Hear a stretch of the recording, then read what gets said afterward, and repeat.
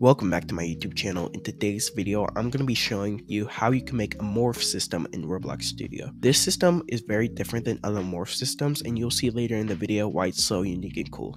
Without further ado, let's get right into the video. First thing what you want to do is go to workspace and add a model and then you can name this model whatever you want. I'm just name it morph model. It really doesn't matter in the scripts ahead of you. In that model, you want to put the um person or thing you want to morph into. Make sure it has a humanoid root part. You could put a character from low character.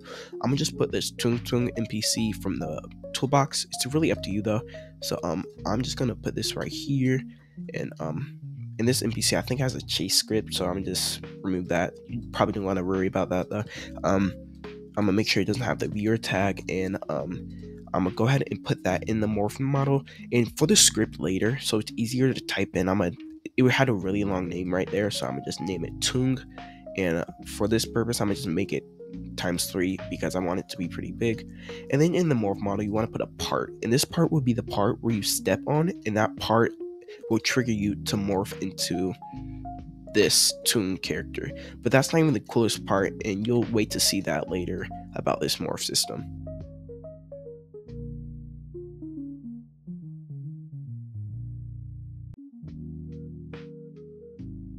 So now that I resized the part to my fitting, I'm going ahead and change the color to yellow. Make sure it's new yellow, new yellow, and make sure the material is neon. You can make it green, but you might have to adjust something in the script. I'm not sure yet, but um, we'll see. But um, basically, yellow is just to show you that you can morph, and um, later in the video I'll show you what red means. Um, but yeah, that will be later in the video.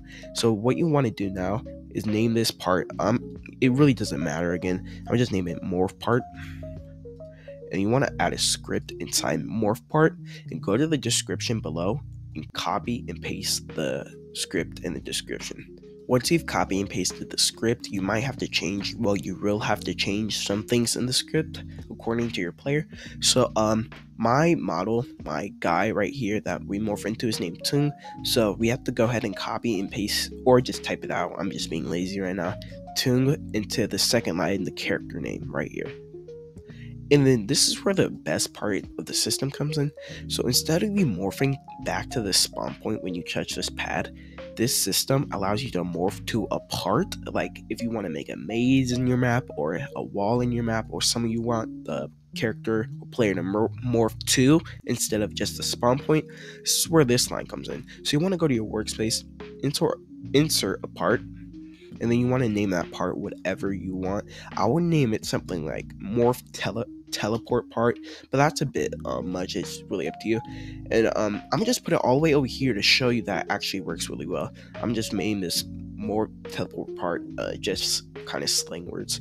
And then um, you want to copy and paste or just type out that name into um, this part of the script right here, the sixth line, the part to teleport to.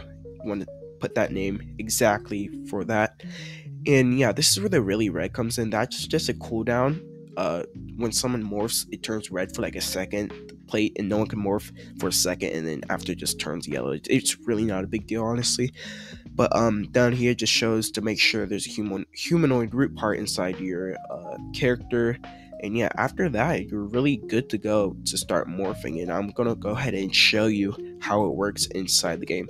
So I'm in the game right now. You could see my I think you could see my part. No, you probably can't. My part is all the way over there. You probably can't see it. But once I hit this platform, I will morph into that part. You see, now I'm on top of that part right here. And um, that just shows it's actually a really cool system because imagine this is like in the middle of the maze, like an, a maze in your game. You want the monster to spawn there or something. It's really up to you, but this is just a really cool part of the system. I'm gonna bring that part back over here just to um, show you uh, the way that the platform turns red for like a second to show you the cooldown. So I'm gonna go ahead and put that right here, right next to it, so I can easily see it. So when I morph, of course, I go to this part, and you see it turns red for a second, then it turns back, and you can morph again.